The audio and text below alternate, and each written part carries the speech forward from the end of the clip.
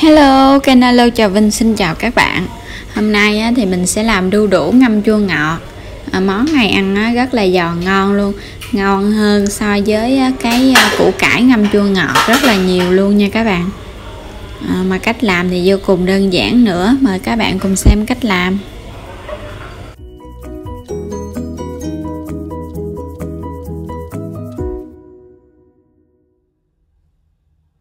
Đây là mình có hai trái đu đủ xanh.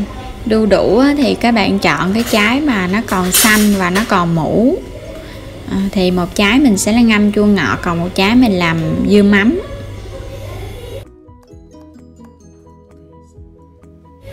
Rồi à, mình dùng một trái thì mình cũng gọt hết phần vỏ rồi nè.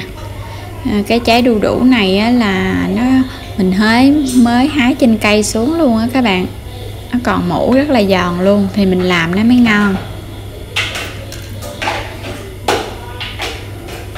Và các bạn cạo hết cái phần hộp ra.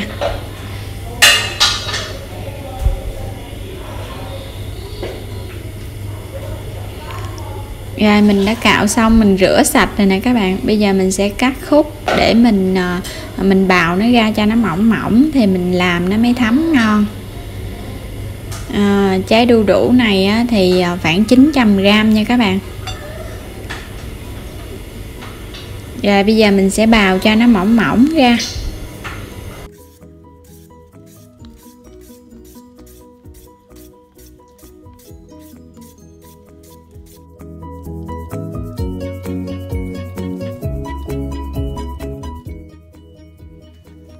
Rồi mình đã bào xong hết cái trái đu đủ rồi nè à, nó mỏng nó đều nhau luôn.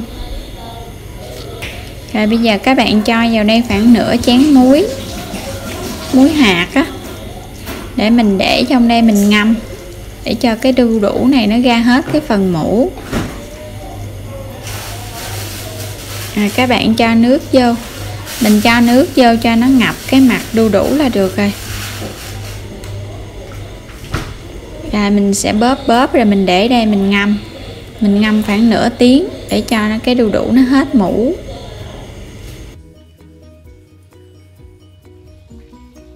Rồi trong lúc ngâm thì mình chuẩn bị 200 g giấm nè, là khoảng một chén đại nha các bạn. Giấm này là giấm 5 phần trăm á.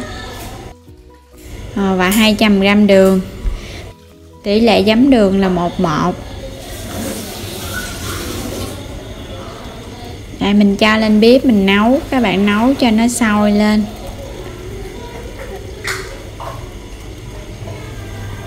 Rồi, khi giấm đường của mình nó đã sôi lên rồi nè. Bây giờ các bạn tắt bếp mình để đây cho nó nguội. Rồi, sau khi mình à, ngâm cái này được nửa tiếng rồi nè, nó cũng teo lại rồi đó. Bây giờ các bạn bóp nè, nó có cái độ dịu lại rồi nó hết bị cứng á. Nó mềm dịu rồi. Bây giờ mình sẽ à, dắt nó lên hết và mình xả nước lại.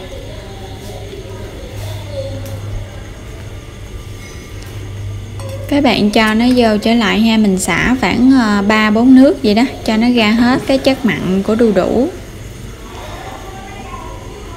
Rồi, si xả xong rồi các bạn sẽ dắt dắt cho nó khô ráo nước luôn. Rồi mình cho nó qua cái gỗ lại. Các bạn nhớ dắt cho nó khô ráo thì đu đủ của mình nó để được lâu. Nó không có bị lên men á. Rồi, đu đủ mình cũng dắt xong rồi nè rồi mình chuẩn bị cái à, cái keo á, các bạn, mình cho nó vô cái keo. Cái keo này thì các bạn có thể trụng nước sôi sơ hoặc là mình à, phơi nắng cũng được nữa. Rồi mình đè đè nó xuống cho nó sát sát xuống á, để mình cho cái nước giấm đường vô. Nước giấm đường mình cho vô phải thật là nguội nha các bạn. Thì à, cái đu đủ nó mới giòn. Ê, mình đè nó xuống nè.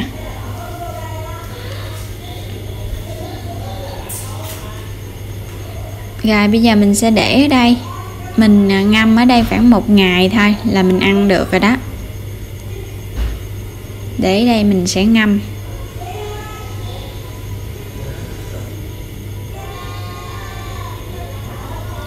Ra qua một ngày này các bạn mình ngâm được một ngày này mình cho nó vô thêm hai miếng cà rốt á cho đẹp á.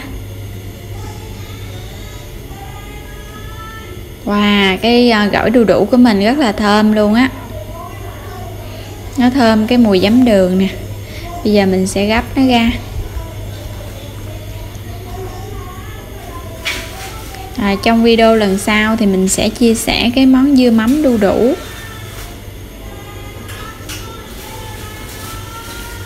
Cay rất là ngon luôn á.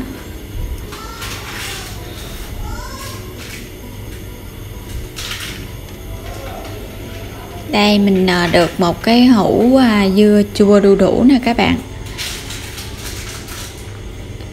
À, đu đủ thì mình ờ, mình làm cái món vậy nè, mình ăn được rất là nhiều món luôn.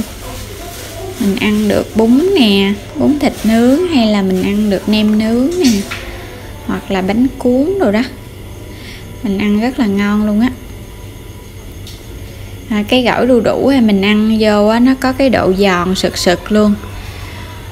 À, nó giòn hơn so với ờ, cái củ cải rất là nhiều lần.